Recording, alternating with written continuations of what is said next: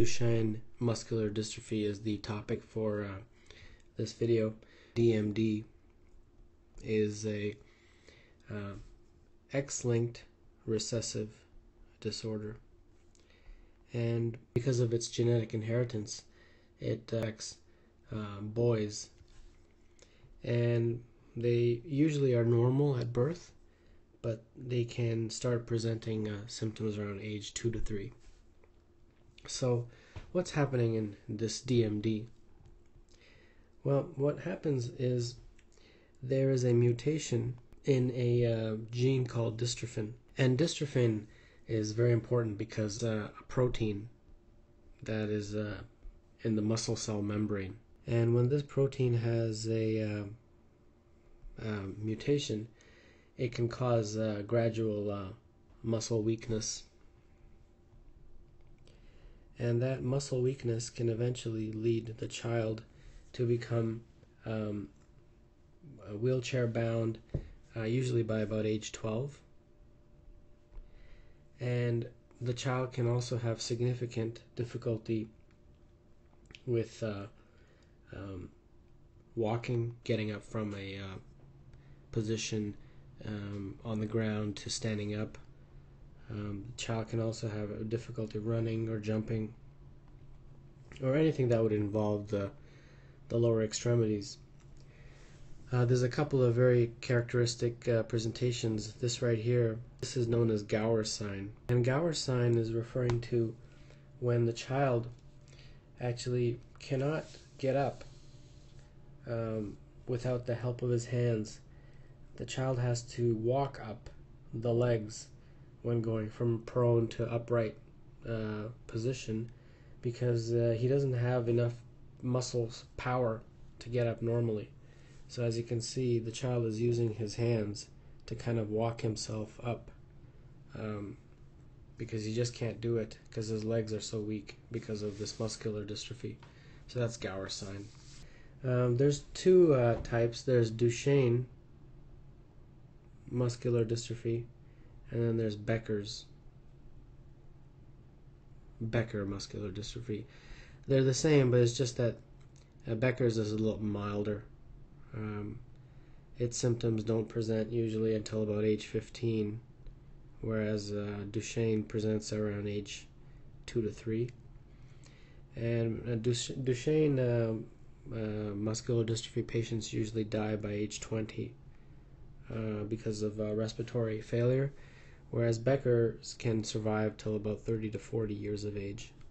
So that's that's the main difference. Other than that, the, the symptomatology is pretty much the same. All right, so let's talk just a little bit more about the symptoms. Both of these, uh, DMD and um, Becker's muscular dystrophy, uh, both have the same symptomatology. It's just uh, when it happens differs. So we have uh, difficulty walking, uh, we have um, frequent falls. And then later, the child can develop uh, cardiac and respiratory problems. And the respiratory problems are usually the cause of death by age 20 in uh, Duchenne muscular dystrophy. So, how do you diagnose this? Well, the diagnosis is actually pretty difficult because it, it involves some pretty complicated tests. You have to actually do a muscle biopsy.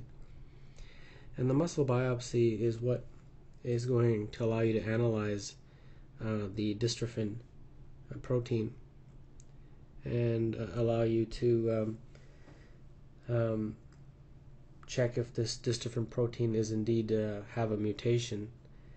And that really is suspected if the clinical presentation uh, matches the disease. So if you have a young child, about three years old, you know, progressive uh, weakness in the lower extremities, is not able to walk or run or jump or stand, uh, then these types of specific tests can be done. Because the DMD also affects the heart, uh, Cardiac tests such as an EKG and echocardiogram are also done as part of the diagnostic workup. So then, uh, let's say you have diagnosed the person with DMD. How do you treat it? DMD is treated with supportive measures, really. There's no actual cure.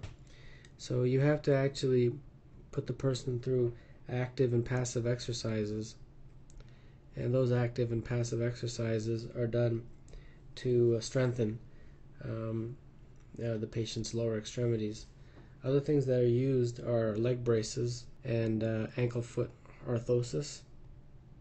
These uh, can help uh, with stability and, and posture and can help uh, prevent the contractures that they get. And it can also help the person with ambulation or standing.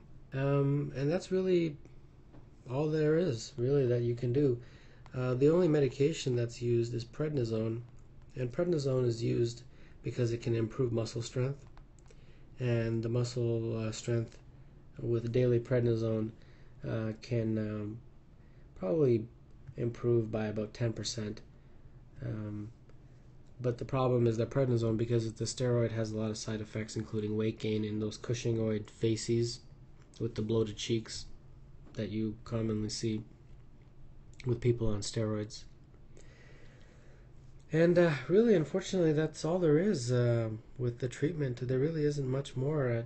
Um, some because of the cardiac complications, um, you probably need to have the child uh, take some cardiac medications, um, like ACE inhibitors or uh, beta blockers. But uh, that um, that studies have shown that that can slow the progression of the cardiomyopathy that uh, patients with uh, Duchenne muscular dystrophy uh, develop.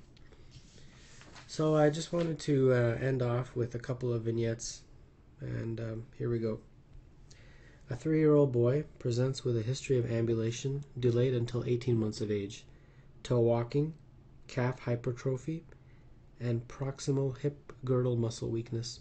His pediatrician considering a mild static encephalopathy, did not request screening for myopathy, but referred him to an orthopedic surgeon who found that his creatinine kinase levels were greatly elevated, indicating need for referral to a neurologist.